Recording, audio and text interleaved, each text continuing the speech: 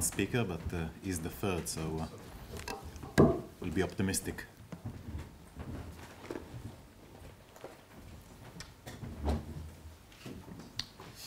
Okay, um, good afternoon. Uh, thank you, Abia, for the uh, introduction. Um, I'm grateful for the opportunity to be the chair of uh, uh this panel um, with such esteemed group of scholars that will speak in a minute.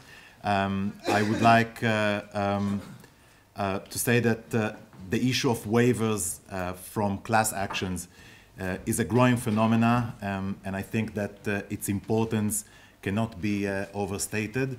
And um, our first speaker will be uh, Professor Adrian Zuckerman. Uh, professor Zuckerman um, is um, uh, Emeritus Professor of Civil Procedure at Oxford University um, and uh, Emeritus Fellow of University College Oxford. Professor Zuckerman is a prominent civil litiga litigation scholar and a notable commentator on the administration of civil justice generally. Professor Zuckerman is the author of uh, Zuckerman on Civil Procedure, now in the third edition of 2013, um, which is regularly cited by English courts and elsewhere in the common law world. Professor Zuckerman will talk about obstacles to collective redress, such as uh, waivers, um, resulting in a deficit in the legitimacy of judiciary and the rule of law. Um,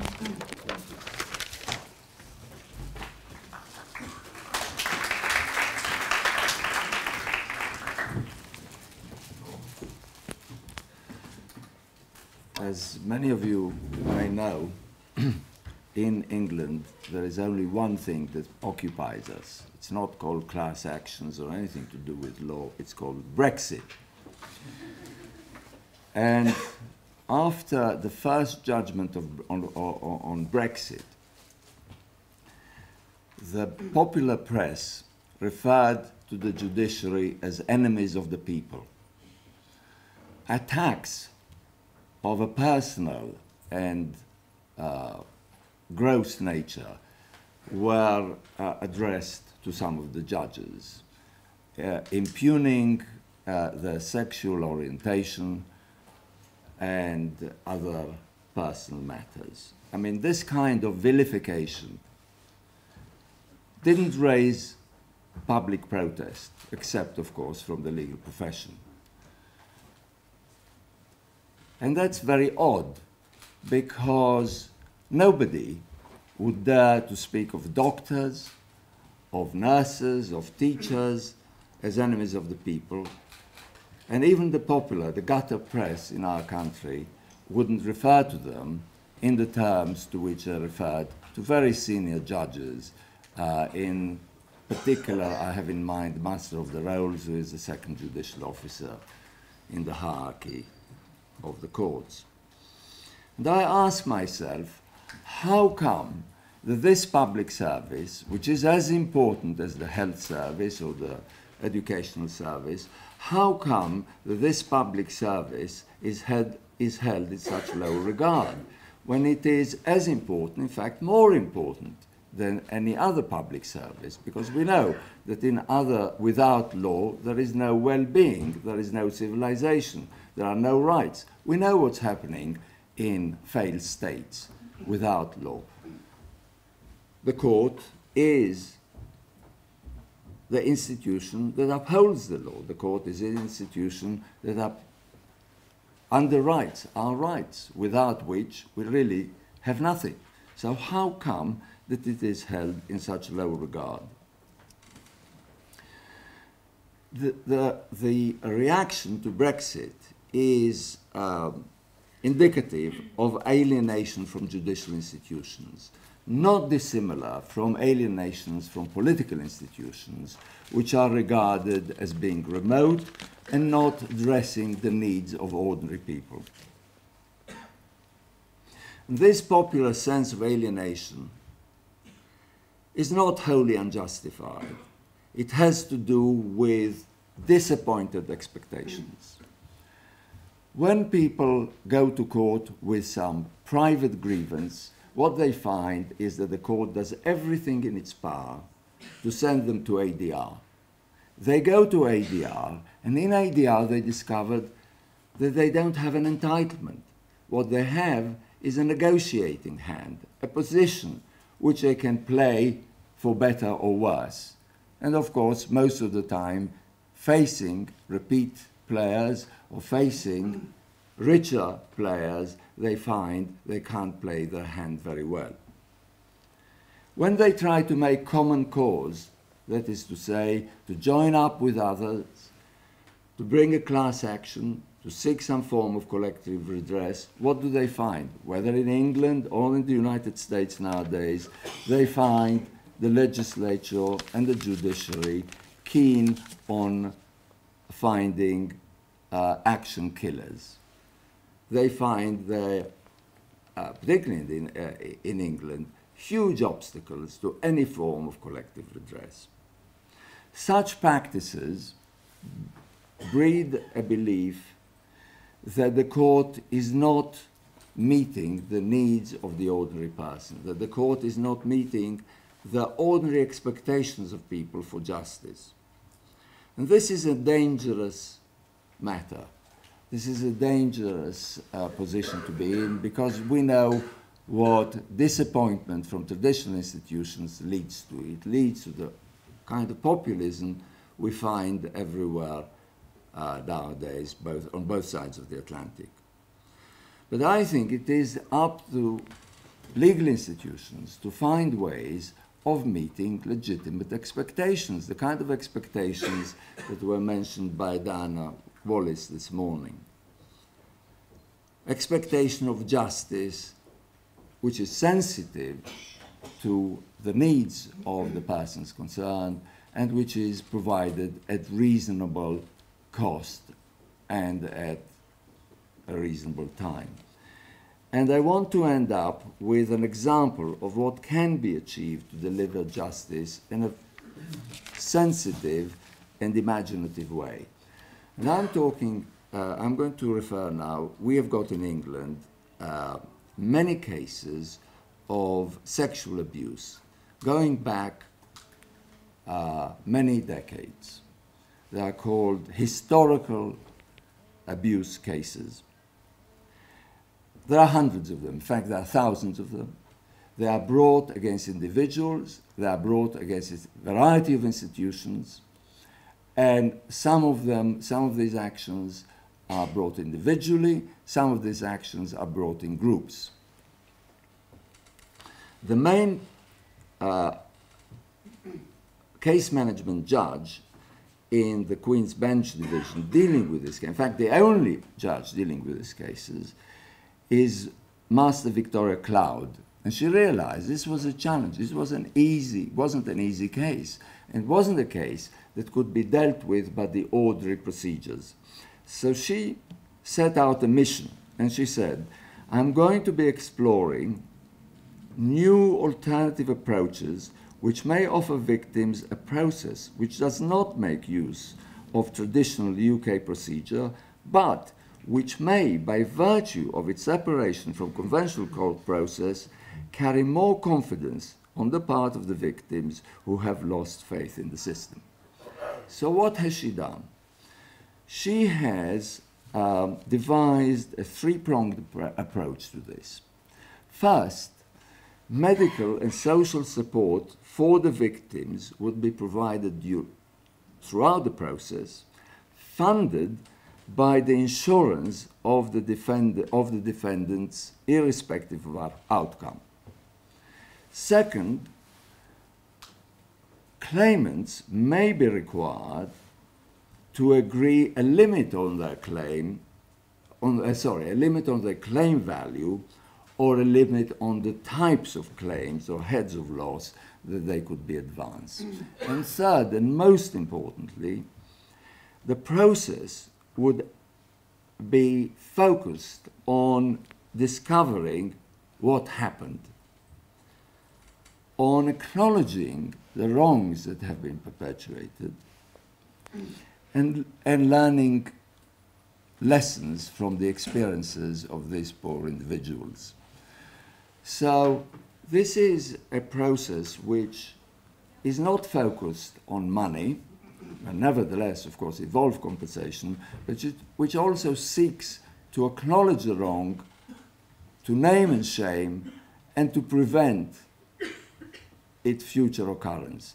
And I think that in collective redress cases, and in particular in what are called trivial claims, we can achieve this sort of uh, procedure, which can, we can achieve a procedure with, with appropriate case management, can ensure that the profit is disgorged, that the perpetrators of the injustice are shamed, and we can do it at reasonable and proportionate expense. Because unless we divide procedures which answer to the needs of the ordinary citizen, we are unlikely to have legitimacy. And in the absence of legitimacy, we have the kind of disorder we are experiencing in various ways in various countries. Thank you.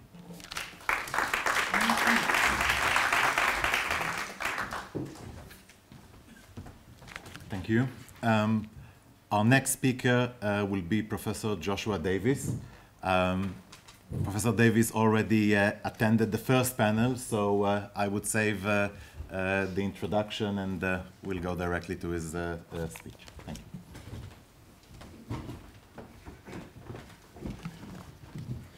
Thank you very much. And I think my comments actually follow well on uh, Professor Zuckerman's very uh, interesting and valuable ones.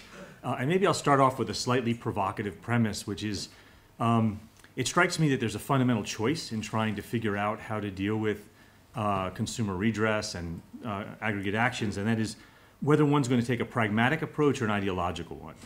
Are we going to do what works, or are we going to worry about some relatively abstract set of values? And I'm in a lot of my writing, I'm a theoretician. I, I, like abstract values, but in this context, I think there's a real priority for the reasons, in fact, that uh, among others, that Professor Zuckerman art articulated so well to look at what works.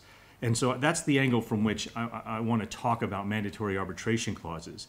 And the reality is uh, that in the United States, uh, mandatory arbitration, which in effect eliminates the possibility of aggregate redress of class actions, as we call them, doesn't work. If you look at the numbers um, of individual cases, relatively small individual cases that are pursued through arbitration, uh, they're tiny. If you look at, a, a, at, any set of cases and ask how many uh, victims will receive some recovery through class actions, it's not hard to come up with cases that quickly get you into the millions. Uh, in any period of time. The numbers are tough to come by, but Paul Bland, for example, has done some of the research, and for that same sort of uh, situation, where uh, you have hundreds of thousands or millions of victims, uh, the numbers who bring claims in our arbitration system tend to be in the dozens, if that many at all. It's really an astonishing difference. So, what about the class action side, though? I don't have much time, uh, and I have spent actually quite a few years doing some empirical research in a relatively narrow area. And what I what I thought I would do is provide some of the evidence that I've been able to uncover along with my co-author uh, Robert Lande of the University of Baltimore. And, and the research was really focused in terms of private enforcement of antitrust claims, so competition claims, right, relatively narrow. And we were trying to figure out do, do these class actions, these are not entirely class actions, but the cases we studied were significantly uh, class actions. Do they work or not, and how do we figure that out? What are the criticisms? And so this is what we came up with, and I'll, I'll give you some of the highlights. But what we did was we studied first 40 cases, 40 successful cases. Uh, if you go to my website at the University of San Francisco, you can click in. We've published, made available to everyone on SSRN, the full, I think, 240 pages of these uh, 40 case studies. We later did 20 more. So we have 60 case studies, 60 cases of successful private enforcement of the antitrust laws. It was a lot of work, as you can imagine. Uh, I strongly recommend doing uh, as little empirical work as possible. Uh, after this project, I went back to theory where I can never be wrong if I'm clever enough. Um, but the empirical work uh, was hard. So what we, we did that. Now, and note, these were designed to be successful cases. There was no effort at random selection, so we can't draw inferences where selection bias would matter. And we want to be very upfront about that. Uh, and our work has been somewhat misused in that way. But here are the two major, major criticisms we were responding to to try to figure out if either or both had merit. Uh, the two criticisms of private antitrust enforcement, uh, end of class actions in general in the US tend to be that one, there's the sellout problem, that the lawyers settle for much too little. Uh, they just take whatever they can get very quickly, and the class recovers almost nothing. And the other is the legalized blackmail, that in fact the cases have no merit, and uh, just because of the threat of litigation and the, the nuisance value of the suit, defendants will settle even though there's no claim of any value there. Uh, different uh, critics tend to make those different claims. Judge Posner, for example, in a single book on law and economics, made both criticisms. Preliminarily, I do want to point out that both are unlikely to be true in any systematic way. The sellout is a recover too little problem. The legalized blackmail is a recover too much problem. Um, hard to have both too little and too much all at the same time. Um, although some of us suffer from feeling that uh, we do, but still. So I, I want to point that out uh, preliminarily. But more to get into the numbers. What did we find when we studied these 60 cases? Uh, I want to talk first about compensation and whether these class actions performed an important compensation function, and then about deterrence. So starting with compensation, we were able to. Um, uh, we, we only looked at cash. We ignored product. We ignored equitable relief, those, so we were undercounting for sure. And we ended up coming up with in 2011 dollars. These were cases from determining from 1990 to 2011, 35 billion dollars of recovery. Um, that's B billion. That's we thought that was really uh, quite significant. Um, and those who, who sort of share the America First version of, of the world right now, about $7 billion was from foreign defendants. Um, maybe that moves some of you, maybe it doesn't at all uh, the size of the recovery. So then we tried to figure out, well, how do we gauge whether these cases had any merit at all? And so we used a, few different ways of, uh, of doing that. The first was the size of the recovery. We thought that if a recovery was uh, large enough, it was very unlikely to be a nuisance suit, right? Attorney's fees are high in America, but they're not that high. Well, the smallest of these successful cases was $30 million, which even in the United States, that's not a nuisance suit. That's fear of liability. Uh, there were only a few under 50 million, and some of the bigger ones ran to 500 million, which just seemed like if there's not some fear of exposure, no defendant is going to settle for that amount. So that was the first indicator that these were probably meritorious. We also combed through the procedural record um, and related cases to try to assess whether there were judicial rulings validating the merits of the cases. And we found that in the vast majority of these cases, these 60 cases, there was at least one, if not several, uh, of these indicators of judicial merit. About 90% of the cases had at least one favorable judicial ruling. Um, in many of them, 28%, there were criminal penalties in related proceedings, which one might assume would mean these are probably real cases. There's something there.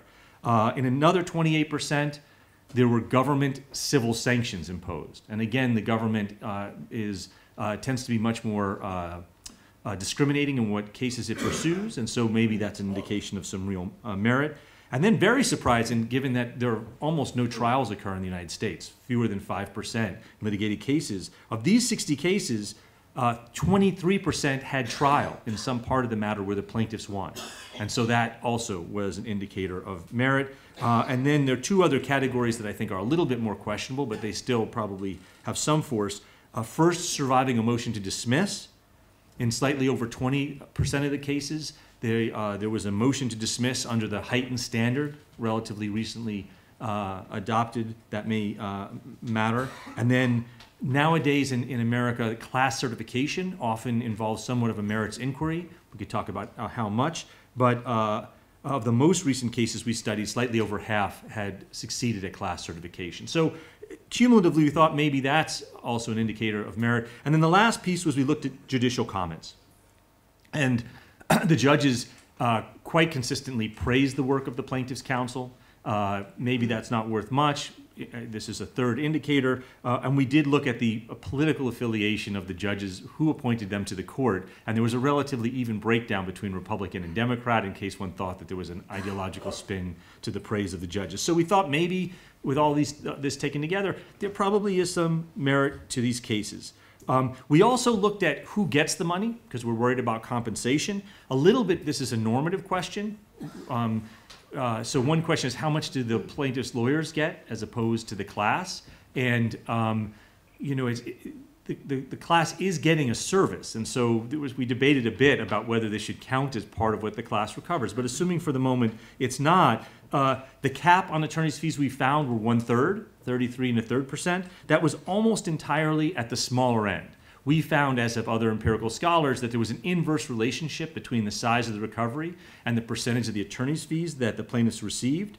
The overall average, the mean of the attorney's fees that the plaintiffs received was 26% approximately. And if, if you use a weighted average, so not by case, but by the size of the recovery, because the larger recoveries have a disproportionate weight, overall for these 60 cases and $35 billion, the lawyers received 14%.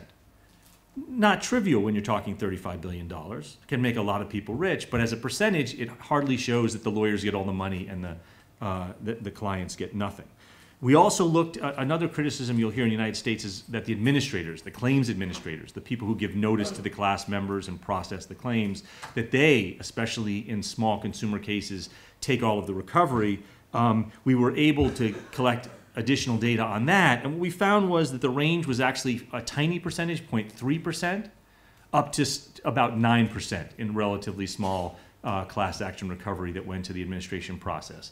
Not nothing, but again, not all, not all the money going to the claims administrator uh, and none to the class. Uh, and the average there was uh, 4% overall, and then in the smaller consumer cases, 5% was the average that went to the administrator. So I, think from a perspective of uh, compensation, where we, the conclusion we came to is these cases seem to do at least a pretty good job. Um, they do at least a pretty good job. Uh, the one other point I'll make quickly, because uh, time is of the essence, but on deterrence. We tried to look at deterrence as well to figure out is private enforcement a meaningful deterrence? We start with a $35 billion. $35 billion seems like a pretty big uh, uh, deterrent. Uh, one of the things we did that was turned out to be very provocative is we wrote an article comparing the deterrence effect of private enforcement and DOJ, DOJ cartel enforcement and, and looked at those same cases. Um, we published the article and got a, a, a nasty article back from high officers in the Department of Justice. I do think in the end we responded and, and we came out reasonably well, but here's where we landed. As compared to the $35 billion of deterrence, during the same period, if one looks at all of the criminal enforcement by the Department of Justice, they obtained $8 billion in fines as opposed to the um, $35 billion. And then here's where it gets uh, particularly controversial. We had to assign values to a year in prison and a year of house arrest to see which had a greater deterrent effect. We took what we thought was a very conservative position and said a year in prison is, assuming that's worth $6 million in deterrent effect, which is a big number. I mean, if you look at sort of Thaler's approach to the value of a life in the law, it's under 2 million. This is one year in prison. We said $6 million, a year of house arrest, we said $3 million. And if you take those years of house arrest in prison, all of them that the DOJ obtained, and combine that with uh, the $8 billion, you end up with under $12 billion of deterrence effect as compared to the $35 billion um, of effect from private enforcement. We think that's pretty compelling. Um, a, a- couple of other responses. Um, we looked at uh, a literature that exists uh, of the effects on stocks of a company when you have a criminal uh, case filed versus a civil case filed. Uh, in all fairness, when the government filed a criminal case, this value of the stock tended to drop 6%, whereas when the private case was filed, it, it dropped only 0.6%. Um, but a couple of things to say about that. 0.6% ended up in the study being $4 million, not nothing from the effect, from the perspective of deterrence. And the reality is, in all of those criminal cases, there was a follow-on civil case. So our position would be the six percent stock drop is some combination of knowing the, the other shoe will drop for sure. And so you can't allocate in an overly simplistic fashion. Um, we also noted that in the, uh, that the civil cases, in America, often they're criticized as being always tag-along cases, they're called, that they, that the, that the private plaintiffs don't pursue their own uh, claims. Uh, and actually what we found out was that in forty percent of the cases, they were not preceded. The private cases were not preceded by government cases. And that in a very large number, over 50% of the money obtained, the private plaintiffs pursued a more difficult kind of case that the government generally won't pursue. What's called a re- rule of reason case. Um, so uh, I, I realize I, I'm at time. I'll make maybe one last uh, statement and then um, leave it there. If folks have questions, I'm happy to explain why we think this plays out the way it did. But one really interesting study that I didn't participate in, but my co-author did with another fellow, John Connor, uh, was to look at 75 cartels where there was excellent information about public and private enforcement. Um, and the actual recoveries that took place in the case. And what they found was that of those 75 cartels, on average, the cartels ultimately paid to the government and to private enforcers a total of about 30% of the damages they caused. Um, in other words, crime pays. Uh, but where I think that ultimately leads us, just looking at the facts and the evidence, is that probably it's closer to too little is obtained through private enforcement rather than too much, but not legalized blackmail and not so insubstantial that the right solution is get rid of it. Probably the right solution, just looking at the evidence, is we should be strengthening private antitrust enforcement and uh, class actions in particular. Not too much, but probably significantly. Thank you.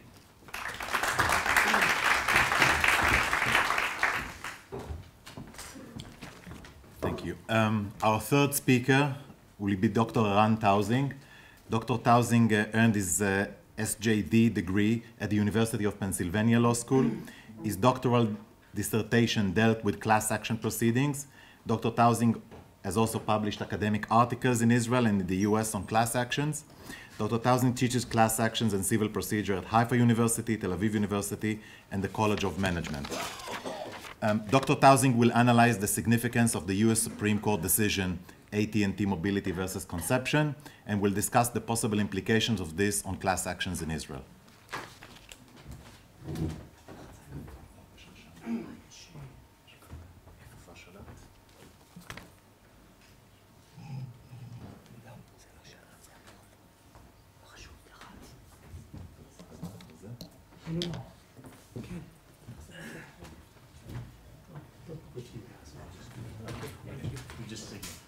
Thanks very much.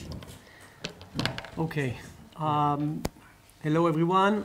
Um, I will speak about one of the most important decisions uh, rendered by the U.S. Supreme Court dealing with class action. And as far as I have time, I also speak a little bit about class actions and arbitration, both in the U.S. but maybe more in Israel.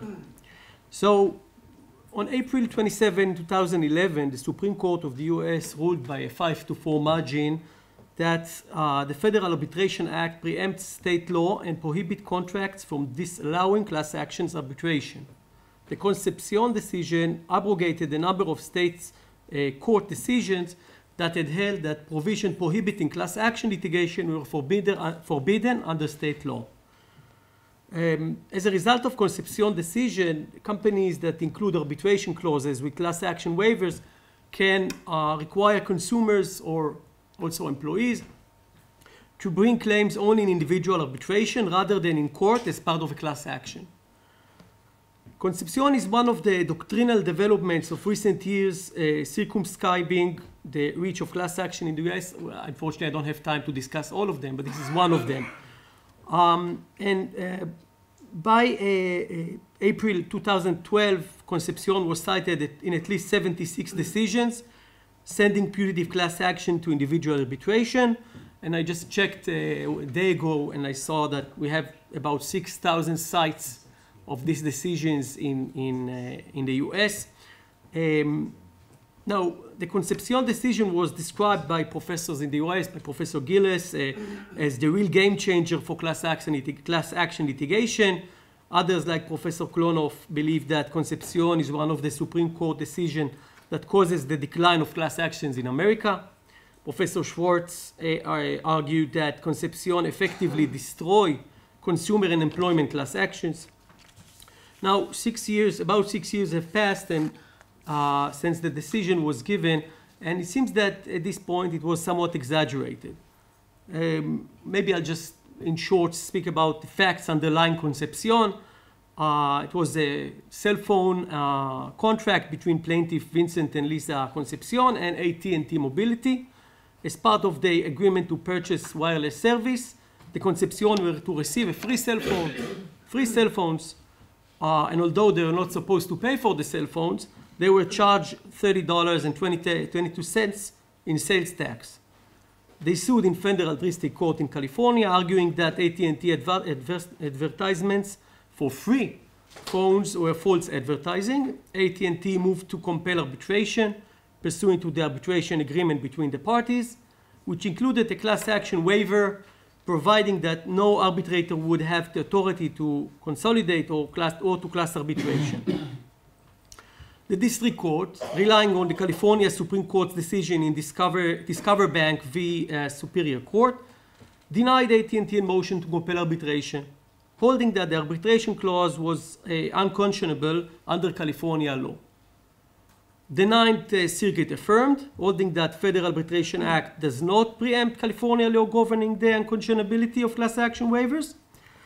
And then it went to the Supreme Court uh, of America. And the Supreme Court uh, reversed the Ninth uh, decision, holding that su such a state law unconscionability defense was in fact preempted by the Federal, uh, uh, by the Federal Arbitration Act, the FAA. The late Justice Scalia, wrote the main opinion, I'm sorry, uh, reasoned that when Congress enacted the FAA, it did not even envision the concept of, of uh, uh, class-wide arbitration. And with respect to the FAA general, the, the Arbitration Act, the court noted that our cases have repeatedly described the act as embodying a national policy favoring arbitration. And drawing on that court uh, prior uh, FAA jurisprudence, striking down various limitation arbitration provision, the court stated California Discover Bank, the, the decision I just discussed about, uh, uh, is similar, uh, interf similarly interferes with arbitration, meaning we need to prefer a, a FAA uh, over, over a class action in these cases. In the dissent, in his dissent, Justice Breyer uh, rejected the majority's reasoning and noted the important benefits of class action.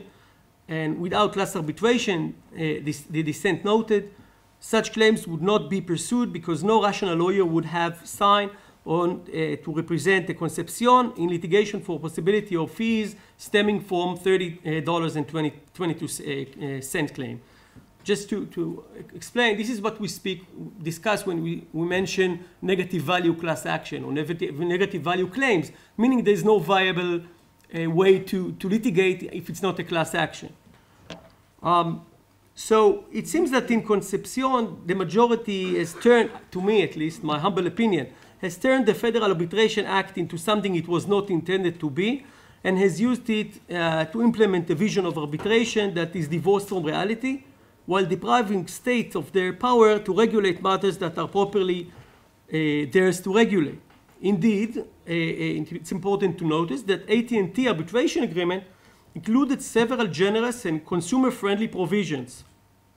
But still, the result was that uh, claimants who did not file a claim for the $30 uh, uh, were not compensated. And clearly, this is, the, this is exactly the reason why class actions are required.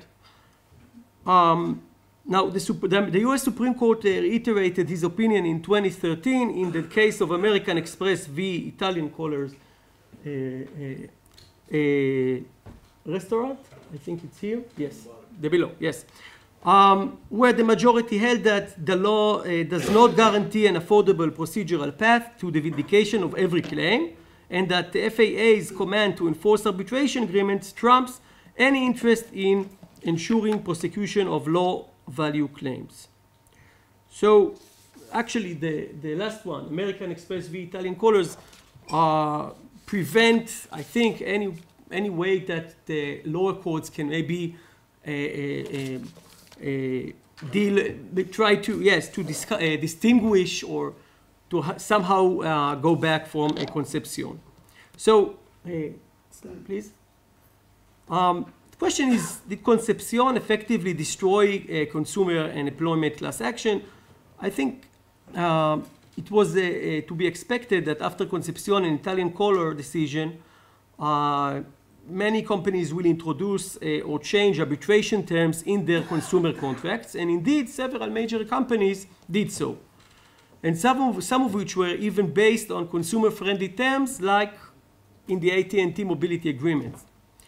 However, I think the hypothesis, the hypothesis of massive adoption of consumer arbitration clauses following Concepcion has been somewhat disputed. Major companies like Google and Facebook and others do not limit the ability of their consumers uh, to sue. Uh, the, one of uh, one of the uh, professor in the U.S. even uh, made a survey, and the, out of 350 companies, the percentage of companies using arbitration clauses is about uh, 43%. It's a lot, but it's not maybe as we, th we thought to begin with. Um, so uh, uh, maybe just one, one more thing. Not every company that requires arbitration, you know, we have some arbitration clauses also in companies, but not everyone bans from filing class actions. So there are a lot of arbitration clauses, but not all of them ban class actions. Um, and maybe we'll ask the question why so many companies choose not to ban class actions if they can. So uh, I think there are a few reasons. Uh, I'll name some of them. One, reason, one reason is the addition of the, uh, these arbitration clauses is controversial and may draw negative attention from media and from the public. Uh, the other one, may, may uh, we may uh, face fear from regulators' response. Of course, contract clauses cannot restrict public or regulatory agencies from uh, uh, suing and to enforce consumer protection laws. Uh, I can mention one case of the Federal Trade Commission in 2014 where they sued Amazon for millions of dollars over purchases in mobile apps uh, made by children for which Amazon had gotten the parents' permission. Uh, and the FTC's lawsuit says that thousands of injured families may have been deterred by Amazon's terms of service from trying to get their money back on their own. Uh, the last reason uh, I would like to speak about is the possible involvement of the state attorney generals. I've heard in a previous con conference that uh, I was lucky to find even one case when attorney generals uh, intervened with class actions, but at least one scholar in the US suggested that uh, the attorney general can file a lawsuit, not a class action, a lawsuit in the name of the citizens, uh, parens patriae, uh, or, or, what the name is, of this kind of a class action, a, a, a, lawsuit. So these are also reasons why maybe some companies decided not to, not to do this. Um, now, a, a, few words about, how much time? Two minutes. So really, a few words about class actions, uh, class action, uh, class-wide arbitration in Israel. So as we all uh, Israelis of us know, we have in Israel the standard contract law of 1982. Uh, according to this law, a condition in a standard contract which denies or limits consumer right to apply to judicial authorities is void, and therefore probably Concepcion uh, we would have not been enforced here in Israel. Um, I don't think there is a dispute that when a lawsuit is appropriate for class certification in Israel, arbitration clause will not be enforced. Um, I think it, it is worthwhile to consider la the larger question whether it is appropriate to conduct a class action via arbitration, assuming the parties agree. So, uh, as far as I know, there is only one case where they used an arbitrator, but he was not arbitrating the whole uh, proceeding, but just when the parties wanted to uh, eh, get to a settlement, and then they went to a mediator, and then the mediator uh, then changed to an arbitrator, uh, of course, after the, the parties agreed. And then he was able to tell them the compensation is going to be X, and the fees of the lawyer will be Y, etc., etc. So I think there are, there are persuading arguments against class action arbitration proceeding uh, it is reasonable to believe that an arbitrator will not be able to serve as a gatekeeper of the absent members of the class. One can imagine, for example, that an arbitrator is not adequately, uh, adequately equipped to protect the members of the class from conflicts of interest, from uh, all the agency, agency problem uh, stemming from class action. Uh, I will just note for the last uh, issue, I'll just note that uh, in Concepcion, uh, Justice Scalia also explained why he believes arbitration is, uh, is not suited for class actions. he spoke about the fact that it will be slower and costly, and the whole reason to, or main reason to go to arbitration to begin with is, is, is it shouldn't be uh, slow and costly and about the procedural formality required in class action which is which is not uh, uh, exactly suited in in arbitration, um, at least under US rules. Um, and the last thing I'll, I'll briefly say, that uh, class arbitration is also, also increases the risk for the defendants, uh, which we know already. We know that even without class arbitration, uh, class actions are a big risk for defendants, and somehow, some for some reason, they have to settle cases even if they think that they don't have merit. So, if, of course, if it's going to happen in arbitration, it's going to be, I think, even worse. So, uh, and just one last word. In Israel, we have a very important role for the Attorney General. I don't think there is anything similar in any other country in the world. The Attorney General is almost uh, is, is involved in almost any case. Obviously, the one that settled. That if you because according to the Israeli class action law, if you want to settle a case, you have to go through the Attorney General. So I'm not sure how it will work with arbitration, uh, but this is something for a different uh, lecture. Thank you.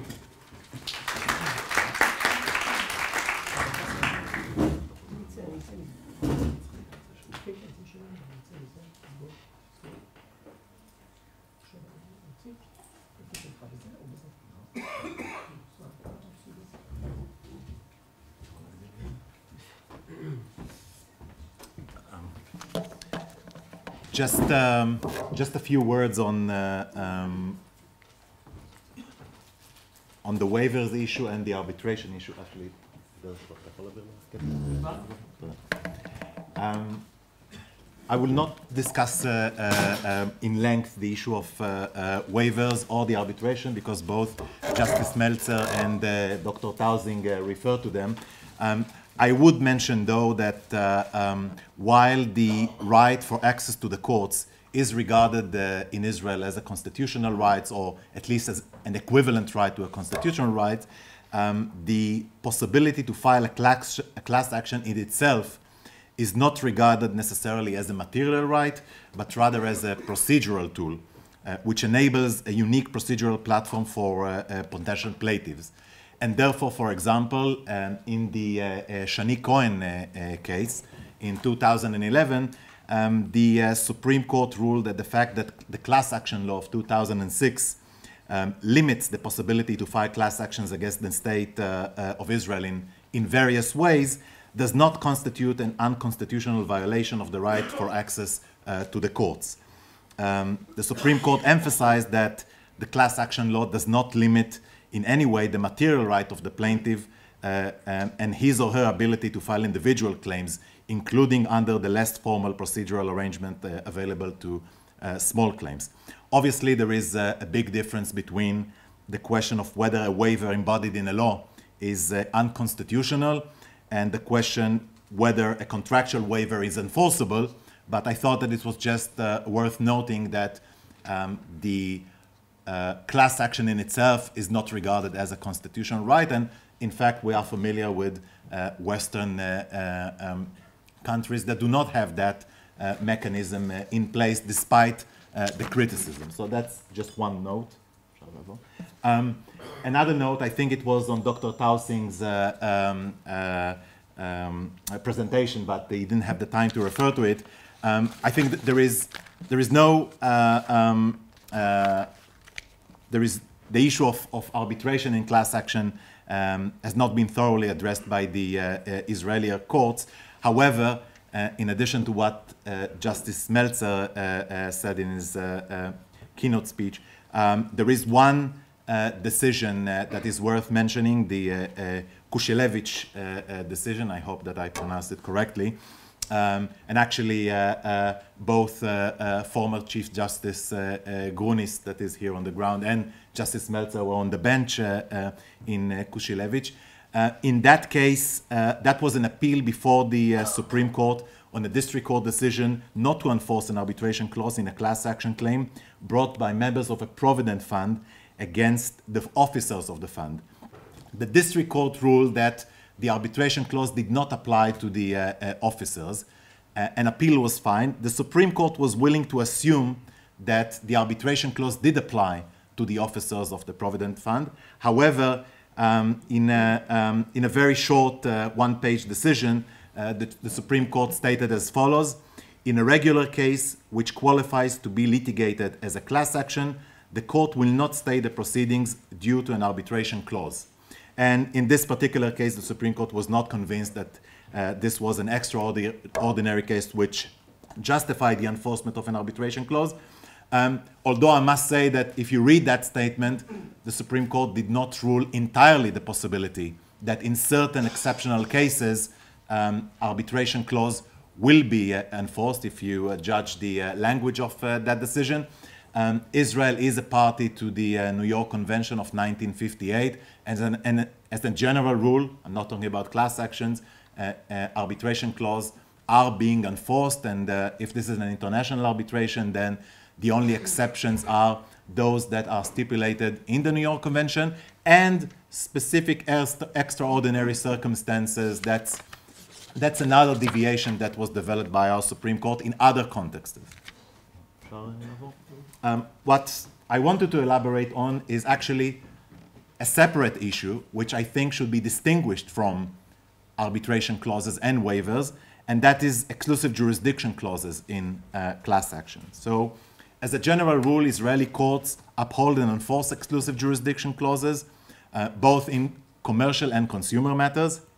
And in fact, the Supreme Court has enforced exclusive jurisdiction clauses even in the most stringent of circumstances. For example, there is a case, Dipocham, um, where an exclusive jurisdiction clause which conferred value to the courts of Munich, Germany, uh, was upheld, even where its enforcement automatically led to the dismissal of the case because the underlying claims were in contrast with Israeli procedure, barred by the German statute of limitations period.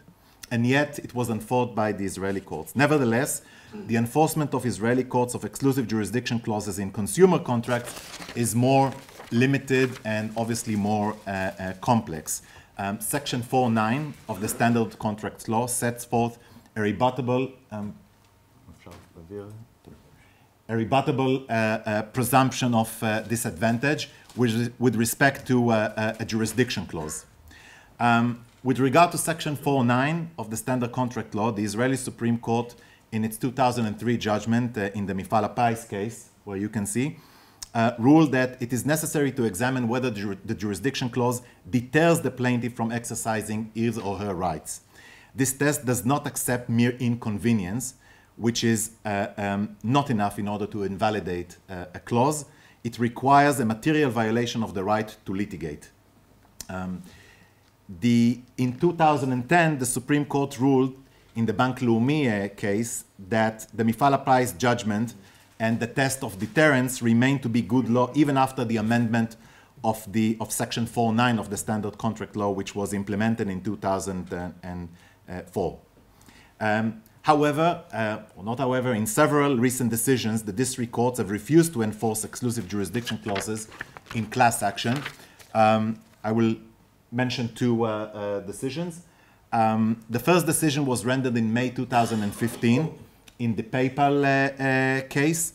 Um, in that case, the, the Central District Court refused to enforce an exclusive jurisdiction clause to the courts of Singapore.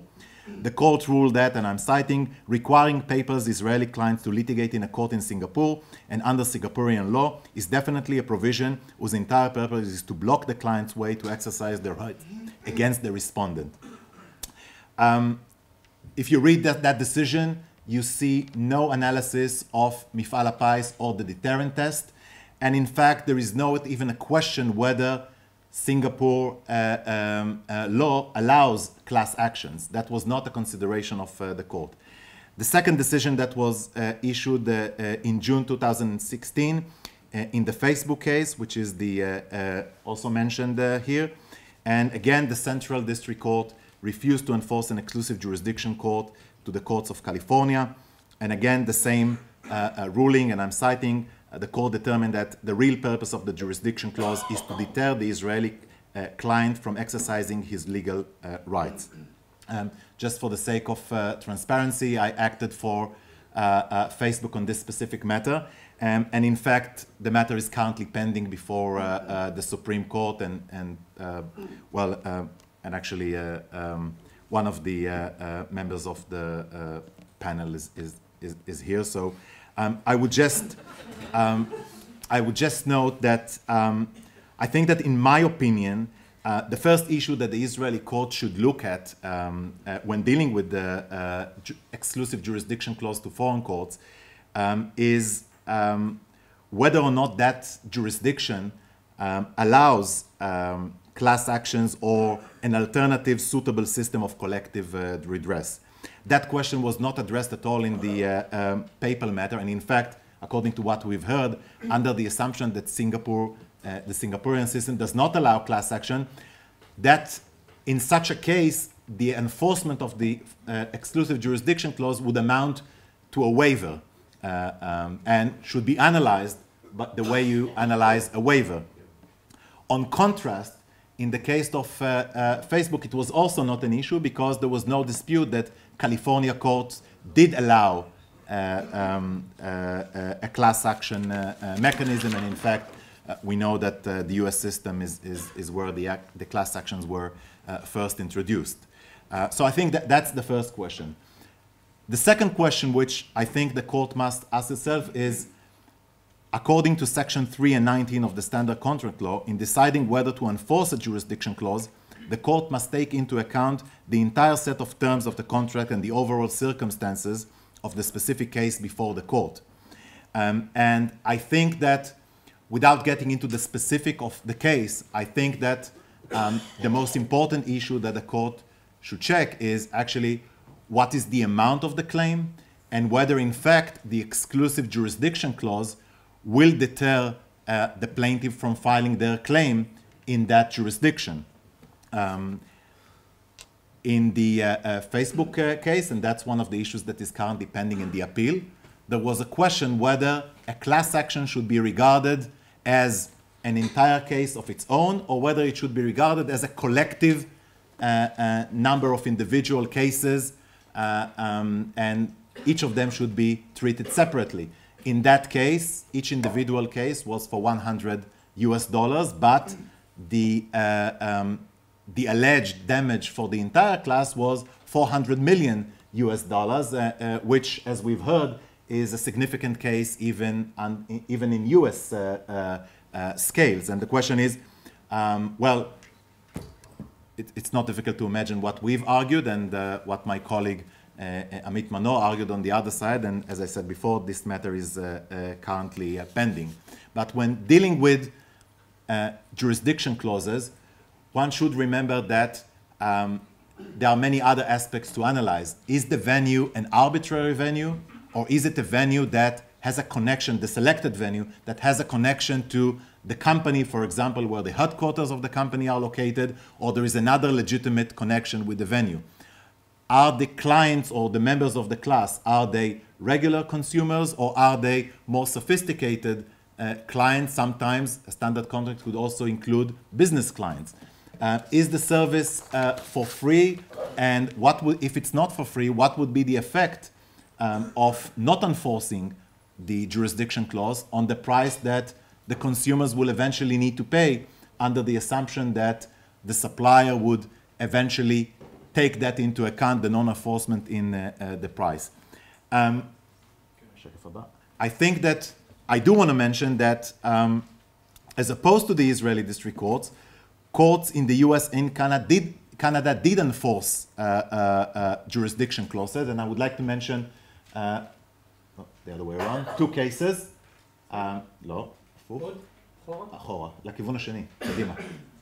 Uh, I would like to mention two cases as uh, hopefully they, they will appear uh, eventually uh, uh, on the screen. No, no, the other way around. The first one is the Wong case.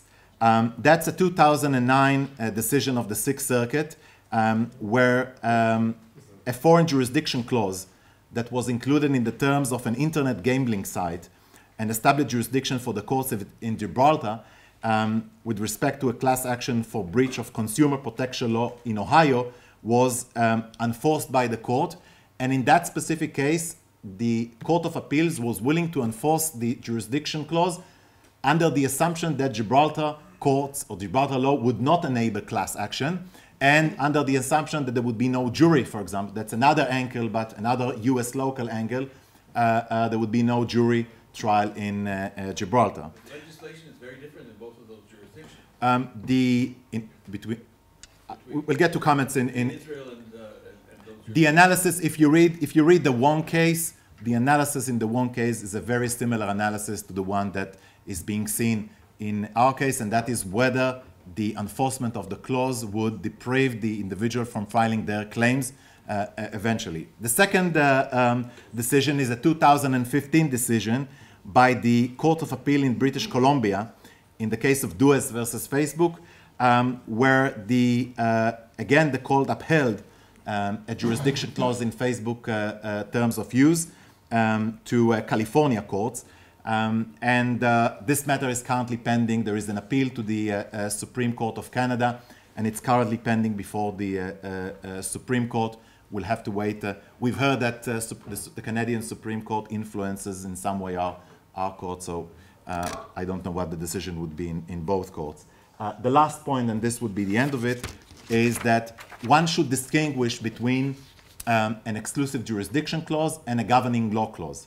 Because while there is no dispute that um, an exclusive jurisdiction clause is uh, in itself uh, subject to a presumption of uh, disadvantage under the standard contract law, this is not the case with regard, or this is not necessarily the case with regard to um, a, a governing law clause.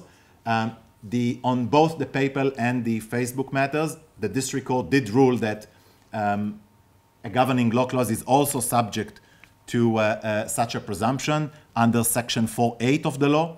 Uh, that, law, that section says a provision which denies or limits the customer's right to make certain arguments before judicial authorities is to be regarded, uh, um, there's a presumption that this is a disadvantageous uh, condition in a standard contract.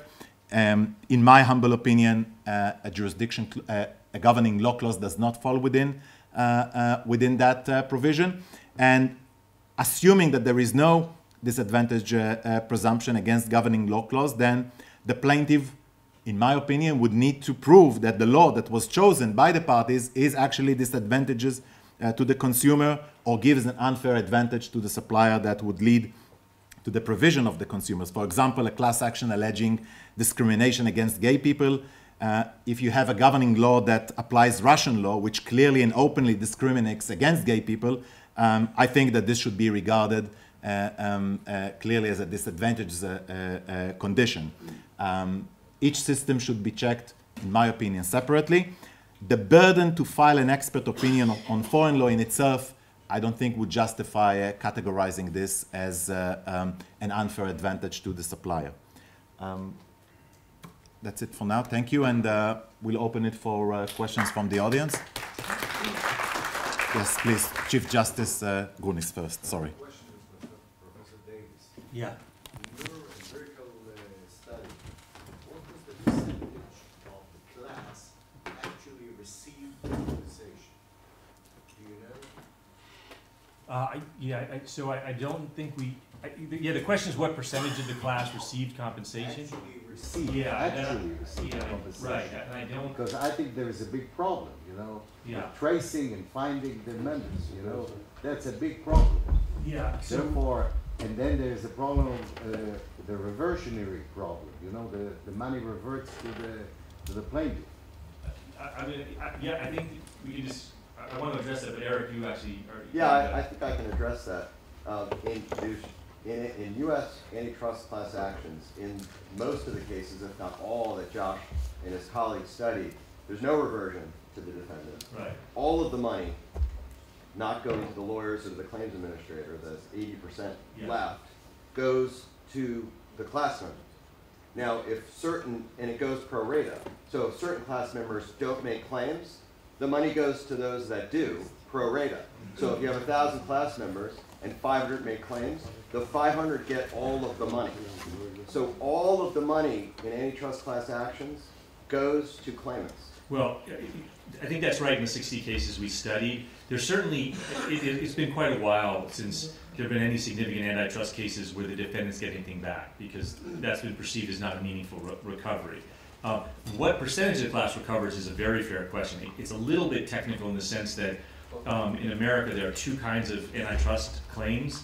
direct purchaser actions, which are the immediate relationship with the defendant, and what are called indirect purchaser actions, which can only proceed um, under, for damages under state law. When you have the direct purchaser action, you have great information from the defendant that you can discover, and usually have a very high rate of recovery there. The indirect purchaser actions, you have very significant problems sometimes with getting a large percentage of the class to participate, and that's a real issue. In those cases, uh, there is a fairly extensive use sometimes of uh, what's called cy pres, or I guess in the Norman French is cy pres doctrine, because uh, it, it isn't possible to get this relatively small amounts. And it, to justify those cases, I do think they ha- one has to buy into the deterrence model significantly, not just the compensation model, because compensation, it, it depends on the case, but often is, it is very limited. But the defendant almost never gets any of it back. It, it goes either pro rata or through cy pres, yeah. Professor Coffee. Yeah, I just want to add something to the theme of consumer class action, because it's in a very, very acute and sensitive question. You got an answer about antitrust class actions, but there are a number of studies that find in consumer class actions, the claiming rate, the number of class members who file a claim is under ten percent, sometimes as low as five percent. And yes, what happens to solve that problem is a a second recovery is paid out. So let's say that only thirty percent of the claimants filed claims in a particular class action, uh, and they get thirty percent of the class recovery. Rather than have a reversion, you get a second distribution, that remaining seventy percent to those same thirty percent. The danger in all that is some people may get more than their actual damages. Yes. because none of them are very- But what also suggests is that the class action is often not working that well to reach the smallest claimant. The people who file, and securities class actions, just the institutional investors, of course they file, but the hundred share shareholder doesn't, and the process for notifying them and getting the administrator to distribute to them, well, you know, the class counsel doesn't want to spend that much money on put- paying it out, when the easy answer is to give the large institutional investor, who is their chief client, a multiple recovery. There- So I do yeah. think there is a real problem in consumer class actions, not antitrust, and I don't think the cy pres system solves this problem. The Supreme Court has been very, very skeptical recently of large cy pres settlements, Yeah. and may yet find that they are not valid. I, I think that's, that's true. I would say that technology, technological advances have really increased the percentage recovery rate, but Nick, did you want to respond as well? I did, I, Professor Coffee, I want to make the point that, that the exception proves the rule to what you're saying, which is in the VW consumer class action, which is distinctly not a small value consumer class action. Again, the exception that proves the rule, the, the claims rate has been, I don't want to say astronomical, but has been exceedingly high. Um, and What, give me a number, because that's a, that's a qualitative assessment. I think it's, I think, I want to confirm, so I'm speaking tomorrow, I'll give you the exact number, but I think it may be at least seventy percent. The point I'm making is that the negative value claimant, the Yep. claimant who has a claim so small that he would never sue on his own, which is the rationale for the American class action, still doesn't get adequately treated. And ten percent, if this is a case involving a defective toaster that costs fifty dollars, I will tell you that the claiming rate, the filing rate will be something around ten percent. We actually have some claims administrators who'll be talking, I think, tomorrow, and uh, they've gotten quite creative in terms of direct payments, so depending on the relationship between the defendants, sometimes the rates are quite high, but it's still a very fair point, yeah. Um, I just wanted to maybe make a point about the difference between the American uh, record and the record of other jurisdictions. First of all, that have indeed seen the class action as being at least as much deterrence as actual compensation, and have uh, emphasized the cy pres doctrine. In other words, to get the money out of the hands of the defendant, but not necessarily get the few cents into the hands of the, of, of the particular, uh, the particular plaintiff. So I think that the emphasis on trying to decide how much compensation is given to the, to the individual plaintiff is overdone and unnecessarily compli- complicates the record of class actions. So the situation in Canada and Australia, I think, is much more satisfactory. The second thing I would say to our, to our chairman is that I hope that Mr. Justice Melcer takes off some of the time that you have in the Supreme Court from, from your argument, but beyond that, I think I would emphasize that the legislation in Israel is very different because of the presumption, which you don't have in the United States, or a presumption of, uh, of of unfairness, which you don't have in the United States or Canadian law in the same way. So that I think that you have to we have to draw a very careful distinction between the kind of objective that you have in the, in the two kinds of legislation, but that's something I, I simply leave to the court to consider. Yes, please. This is one of those situations, in line with your comment, where the quest for the perfect is the enemy of the good. If you accept that the theory of the American class action in terms of low-end monetary claims is compensation, yes, deterrence, yes getting the money out of the hands of the defendant becomes primary when you simply cannot, in any efficient manner, identify the members of the class.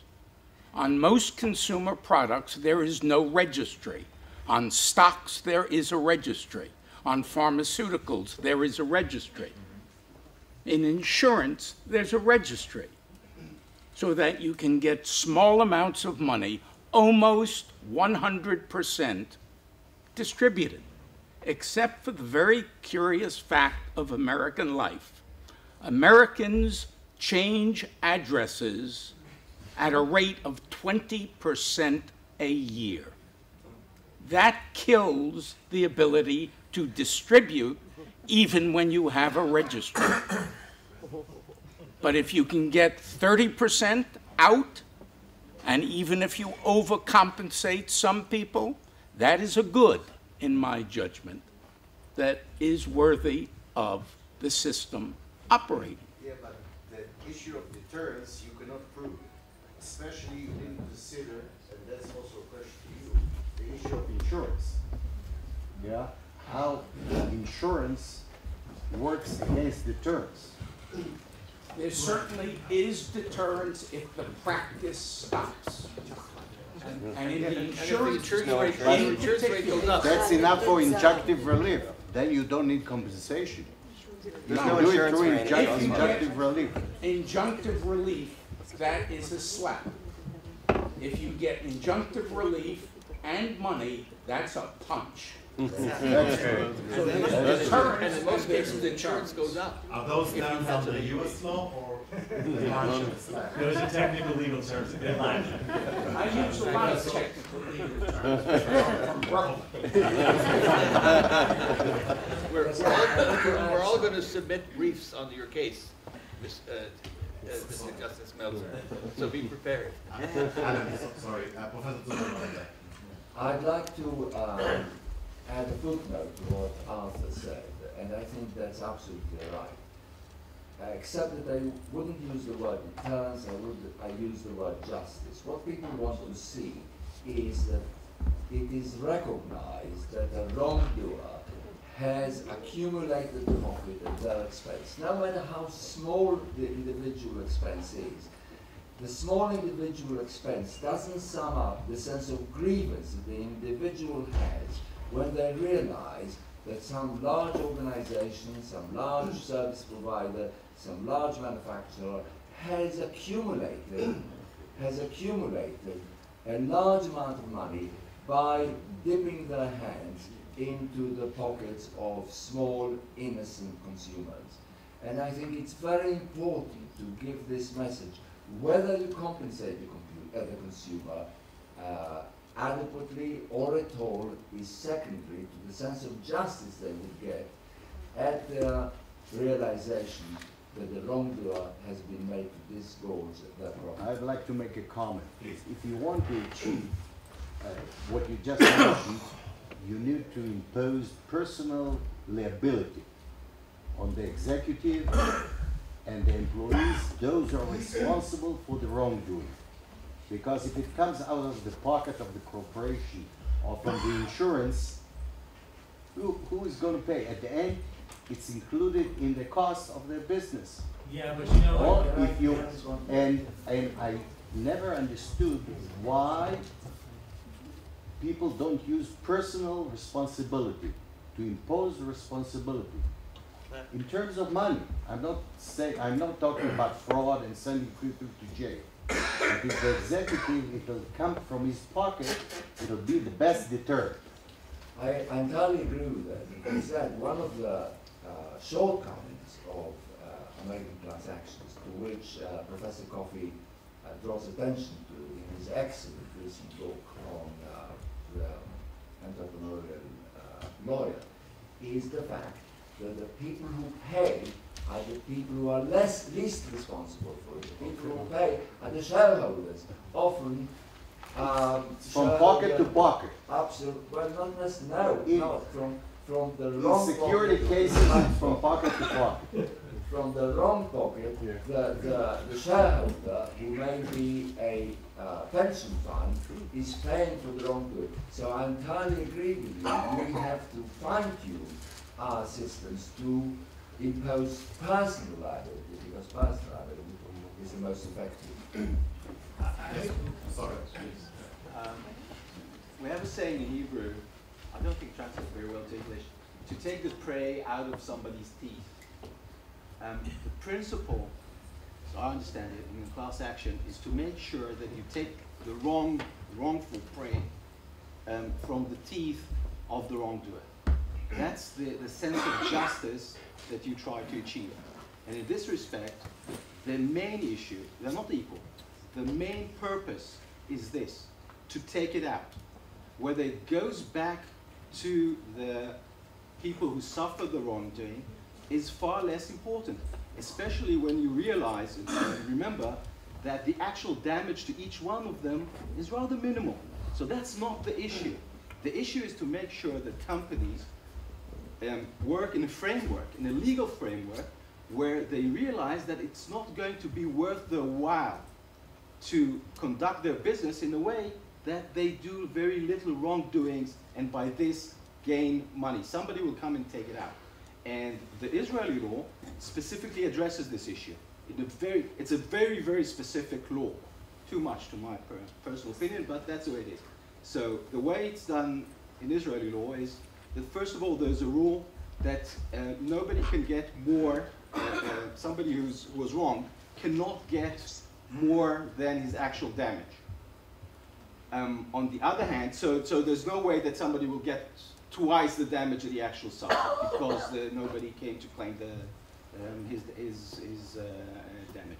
On the other hand, there's a specific uh, instruction that says that if you have um, an excess of the damages that you actually distributed, this goes to a specific um, government-controlled fund that's supposed to, to, um, to use the money to a side trade purpose, something close in, um, to the area of the, of, the, of the class action. So that's the way you try to deal with it. And this goes to show that the purpose is the punishment, the purpose is the payment, rather than compensation.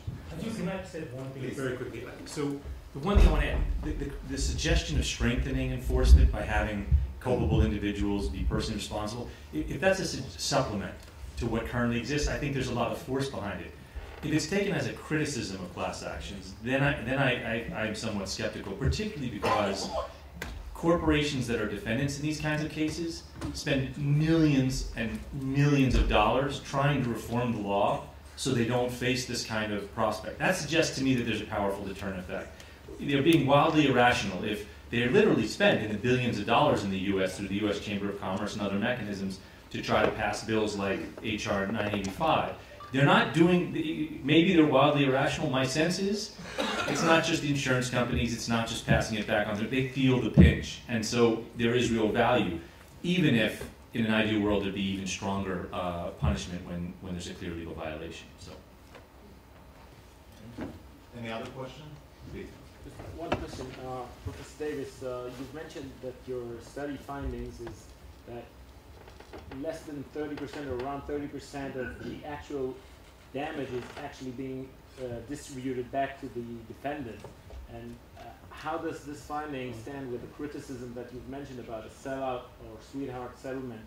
And do you think that that might actually uh, be a, a, a way to uh, demonstrate that, that kind of criticism? Yeah, it's a great question. So, so the this is a case that this this empirical study I didn't do. It, John Connor has a database and it was Bob Lande and John Connor who did this. We rely on it in the work we co-authored, but this is not my original work. The question is, if there's a thirty percent recovery uh, on average with these seventy-five cartels, is there a concern um, that recovery isn't great enough? And I think, yeah, I think that's probably right. As, Uh, as between the legalized blackmail and the sellout, both of them perhaps excessively pejorative language, I think the, the stronger case is that class actions need to be strengthened. And, and I think the reality is that many of the reforms I talked about this morning that make it riskier and riskier, more and more expensive, and more and more difficult to prosecute class actions successfully, what you're going to see then is that you get a settlement in light of the expected value given these various challenges, and that the right direction would be not to make class actions infinitely easier, but not to have these cumulative efforts to correct a problem that isn't there. I do think that, in the scheme of things, uh, is where we should be moving in, in, in, in regard to American class actions.